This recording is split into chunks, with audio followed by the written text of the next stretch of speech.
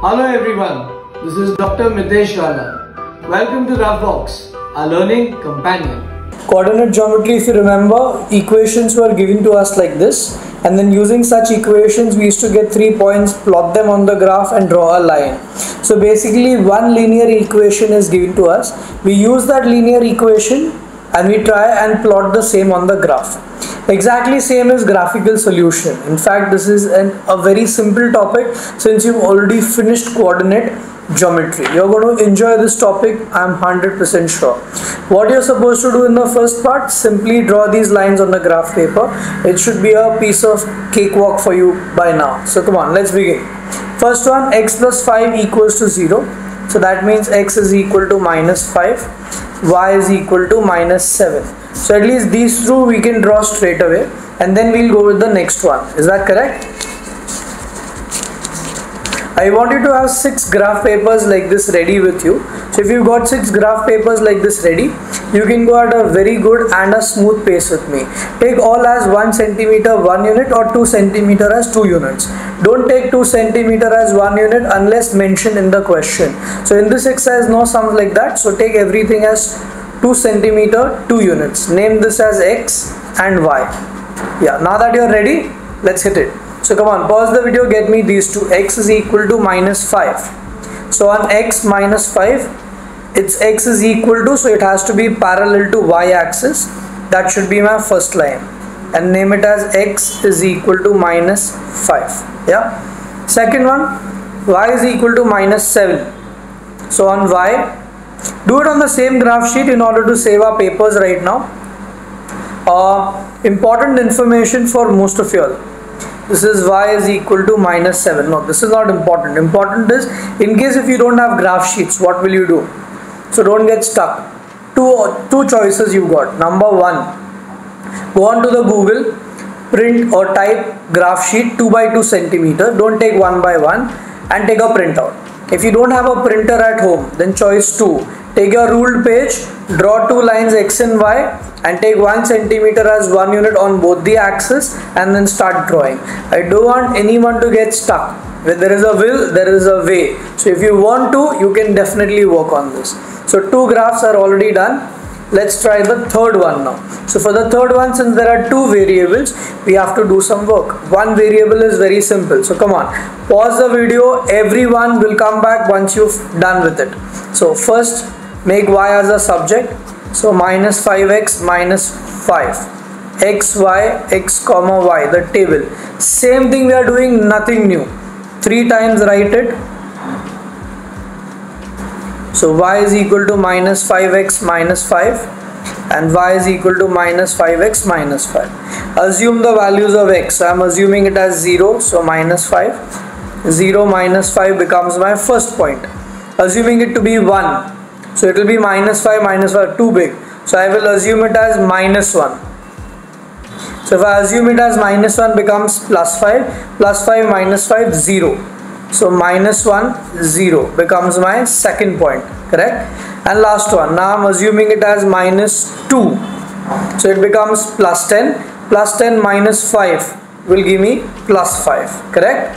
So this is going to be minus 2 5 as my third point. Let's plot and see if they are collinear. Let me use a blue pen so that it is identifiable easily yeah? So the first point is what? 0 by minus 5 so 0 by minus 5 on the y-axis. Second point minus 1 0 so minus 1 0 obviously on the x-axis again. Oh yeah on the x-axis minus 1 0 and the third one minus 2 by 5 so minus 2 by 5 is here. Let's see if these points are collinear. They seem to be. They should be.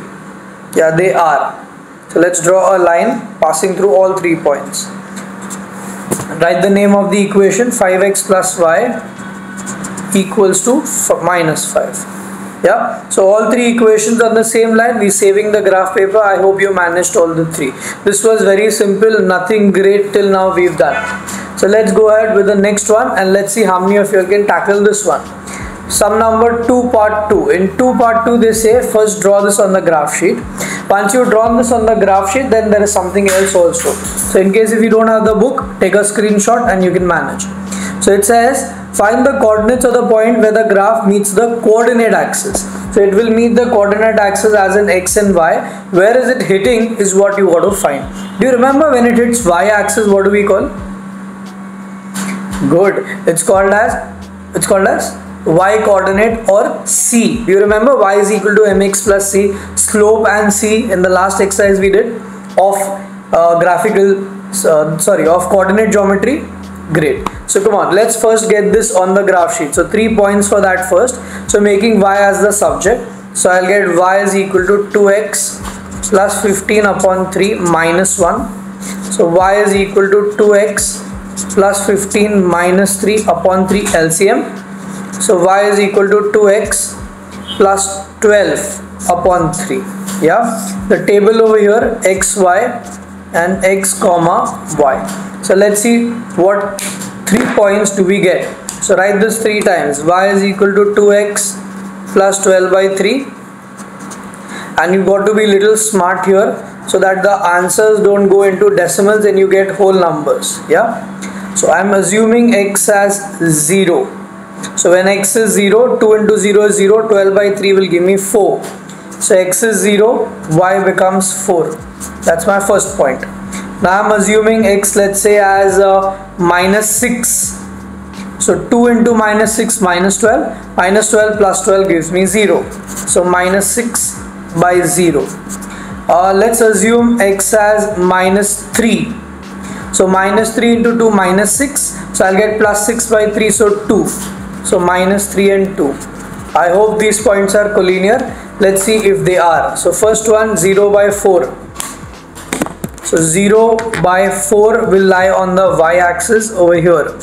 0 by 4 second one minus 6 0 minus 6 0 on x-axis so line goes somewhere like this. And minus 3 by 2 minus 3 by 2 yes i think the points are collinear and you are lucky that you already got the coordinates where it is hitting the x-axis and the y-axis directly. So write the equation over here. Equation you can write 2x plus 15 by 3 equals to y plus 1 now where is it hitting the coordinate axis? So on x-axis minus 6 0 so right here x-axis minus 6 comma 0 and y-axis come on give me the answer. 0 comma 4 so we got both the answers straight away. Many managed to get this? Brilliant. You will get most of the sums in this exercise. Nothing great. I am pretty confident about it. So don't worry. Let's go with the next one. I want everyone to try sum number 5 come on hit it. Fifth one is just like the uh, exercise b of coordinate geometry the last question if you remember yeah? This is going to be tricky. I don't know whether it will fit in the graph. I don't think so. But still let's try. Come on let's first get the three coordinates. So i'm making y as my subject 4x minus 6 so y is equal to minus 4x minus 6 by 3 all right? Minus 4x minus 6 by 3 so the table x y x comma y. And 3 times. y minus 4x minus 6 by 3 same way minus 4x minus 6 by 3 minus 4x minus 6 by 3 so assuming the value of x as 0 so minus 6 by 3 will give me minus 2 so 0 minus 2 becomes my first point. What else can I assume? Can I assume 3 or rather minus 3 so if I take minus 3 minus 4 minus 3 will be plus 12 plus 12 minus 6 is plus 6 plus 6 by 3 should be 2 so minus 3 by 2 copying. Please pause. Come on start right now. And x. For the last time what should I assume now? Uh, can I assume minus 6 if I take minus 6 this will be 24 no too big I think. So we'll have to take a smaller number. Maybe 3 so 3 4s are 12 12 minus 6 yeah 3 is easier. So I'll take positive 3 so if it is positive 3 minus 12 minus 12 minus 6 minus 18 minus 18 by 3 will give me minus 6 so 3 minus 6 so I've got all the three points. Let's plot them on the graph sheet. This time I have taken the graph sheet as horizontal because x is equal to 12 yeah? So you can do it that way. But I don't know whether y the answer will fit or no. That we'll have to check so first one 0 minus 2 0 minus 2 is right here. Second one minus 3 by 2 so minus 3 by 2 is here. And the third one 3 by minus 6 3 by minus 6 so let's draw the line. Try and draw a huge line. And I am sure the first one we are not going to fit. So I purposely picked up this sum so that you don't panic if I put it in the homework section. Now y x is equal to 12 is not going to fit here. We'll have to ignore. In the exam i'm 100% sure they will not give you a question which does not fit. So let's do the second part. X is equal to minus 6 so you've already been lucky. No not lucky. Minus 6x over here. So let's draw it. So if I take x as minus 6 what is y then so y becomes 6 so right over there if x is equal to minus 6 then y is equal to 6 if you want to check verify your answer put the value of x as minus 6 here. So minus 6 minus 4 will be what 24 24 minus 6 18 18 divided by 3 will give you 6 correct? So you can always verify whether your answers are correct or no. So we just did the second part. First part we are ignoring because it is not going to fit in any graph sheet unless you shift something more here and this up. So don't worry such sums will never come in the exam which create confusion for students yeah? I want you to try sum number 9 this sum number 7 i have skipped right now very important question. We'll come to that right at the end. Right now i want you to try 9 you got to find the values of m and n. First draw this on the graph sheet. Once you drawn it then we'll see how to tackle these parts. So come on. I'm making x as the subject. 18 plus 3y so x y x comma y. So i get x is equal to 18 plus 3y again 18 plus 3y and 18 plus 3y so I'm assuming y as what? If I take y as 0 x is going to be 18 huh? you're going to go crazy. You can't plot. So it's better you take some negative numbers so you can subtract. So let me take it as minus 6 so minus 6 into 3 is minus 18 so I get 0 so minus 6 and 0 please see to it you don't write this minus 6 for x because x is 0 y is minus 6 otherwise you will get a flipped point and you will go wrong you will go crazy doing it then. Let me take minus 7 so minus 21 plus 18 so minus 3 minus 3 minus 7 and let me take minus 5 so minus 5 into 3 is minus 15 so I will get plus 3 so minus 5 see I messed up. Y is minus 5 and x is 3 so 3 comma minus 5 let's plot some number 9 0 by minus 6 so 0 by minus 6 should be here on y-axis minus 3 minus 7 so minus 3 minus 7 should be here. And uh, 3 by 5 3 by minus 5 sorry. So 3 by minus 5 should be here. I'm sure they are collinear. So let's draw a long line so just in case if you want to find the other parts you can easily find it. Yeah? Write down the equation. X minus 3y equals to 18 now let's see. M when y is minus 5 so if y is minus 5 what will be m? Have you got anything with minus 5y yes. So m is 3 ready made but you need to draw the lines. Without that you will lose your marks. So y minus 5 let me draw it with blue so y as minus 5 what will x become? So x is going to be 3 for sure. So that's the first one. Yeah. So right over here. First part. Y minus 5 x is equal to 3 equals to m. So we get the first part over here. Now they say x has 6 find y. So if x is 6 what will be y so x is right over here. What will be y? I guess minus 4 but I would be safe. How to be safe? By substituting this over here to check your answer. So if I take x as 6 6 minus 18 minus 12 divided by 3 minus 4 which is what we have got. So now you say the second part. X is 6 then y is minus 4 is what we have got. And that is equal to n so we got both the parts. Did you manage to get this sum everybody? Great. Have we learned anything new yet? It's the same thing what we are doing till now what we did in the previous exercise. One more sum similar type. Let's finish it. And then there is something new. I want you to try sum number 10. I am 100% sure most of you all will manage this on your own without anyone's help. So come on, hit it guys. Sum number 10 part 2. First plot this then how to get this I will tell you. So I am taking x as my subject 2y minus 1. Yeah. x, y, x comma y. So I am substituting the values over here 3 times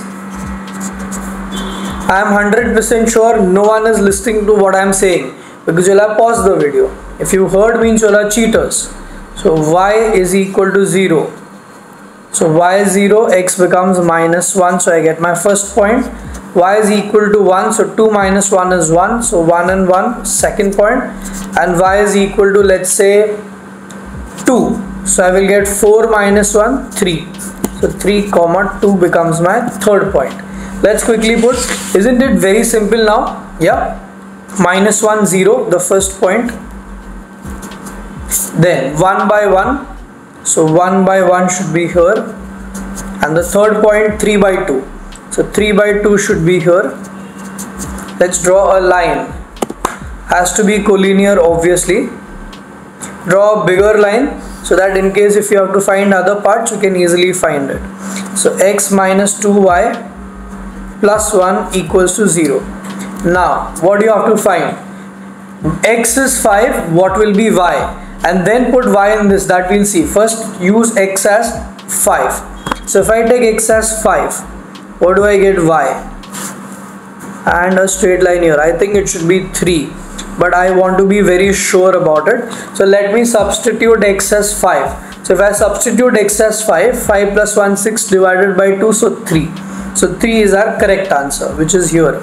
So now here how are you going to present it? So you say x is equal to 5 y is equal to k minus 2 equals to 3 so therefore k will be equal to 5 did you get this extra extension which they asked for? Y you get and then you get k. You don't get k directly. So y is equal to k minus 2 which is 3 therefore k becomes 5 perfect? Many got this on their own? Great job. Seventh now the points are ready made see you got this total point 3 by 2 this point and this point so this is going to be 3 by 2 5 by 3 and minus 1 by 0 can we use these three points and draw the line once you draw the line use this and get a use this and get B, use this and get C. So it's going to be very simple in the start. The new thing in this, find a linear relation between X and Y. Linear relation means what? Linear relation is this. This is called as a linear relation.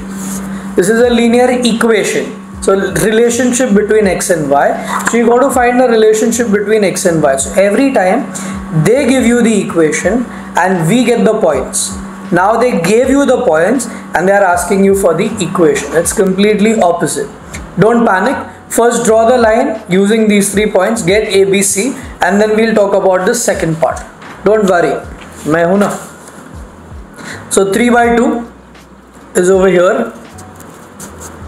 5 by 3 5 by 3 and z minus 1 by 0 so minus 1 by 0 so we got the three points. Let's see collinear. Has to be because they gave it to us unless we've plotted it wrong. So let's draw a line. So that should be my line no equation yet because we don't have any equation as such. Now x is a and y is minus 1 so take y as minus 1 and draw for x to get the value of a. So already there? No. Y as minus 1 so here it is y as minus 1 so if I draw y as minus 1 I think I should get the value of x as minus 3 yes minus 3 that's the first one. So let's draw all the three then we will write on the sheet. X as minus 5 so x is minus 5 which is here. What will be y? So y will be minus 2 so that's the second line we drew. And the third one here. Y is 4 so if y is 4 which is here what will be x? So if y is 4 x should be 7 usually you will get all whole numbers yeah? Now how will you present this here? So you can say this way.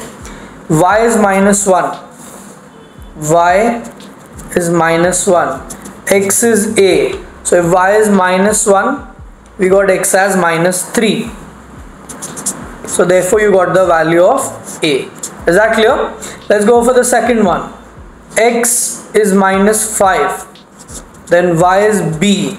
And what is b x is minus 5 so x minus 5 we got b as minus 2 that is your y coordinate. And the third one if y is 4 then x is c. So y is 4 x is c which is 7 so we got all the three coordinates a b and c. Is that clear? Now graph is done. Now how to get the linear relationship between x and why. That's very very important. Do you remember one important statement i made in the last video? Standard form. Anyone remembers what is standard form? Yeah brilliant. Y is equal to mx plus c. Write it two times. Now take any one of the coordinates which you already know. Substitute x and y in this. Substitute x and y in this. You will get two new equations with m and c what to do then I will tell you. First substitute this and get me two equations with m and c. So x is sorry y is 2 x is 3 correct? Sorry x is 3 so m. So I get 3m plus c equals to 2 anyone got this as the first equation? 3m plus c 2 so I wrote 3m plus c equals to 2 here likewise the second one. You can take this or this whichever you want. Let me pick up this one. So y is 0 uh, x is minus 1 into m plus c. So I get minus m plus c 0 as my second equation. Get the values of m and c. How? Simultaneous. Once you get the values of m and c again take this. And in this substitute those values of MNC which you have got and automatically what you will get is a linear relationship between x and y. Brilliant it is. Finish it then we'll again revise. So first I am trying to get the values of MNC by using simultaneous equations. So minus becomes plus minus minus cancels. So I get 4m equals to 2 so m becomes half substitute m in order to get the value of c. So i'm substituting m over here. So c this half goes on the other side becomes half. Yeah? Now the last part. Y is equal to mx plus c. Get this again. Three times you're going to use this. Once twice and the third time the final time.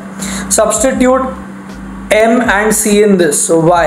M is half and c is also half. Take the lcm so 2y x plus 1 so finally I can write x minus 2y plus 1 equals to 0 this is the linear relationship between x and y for this particular data.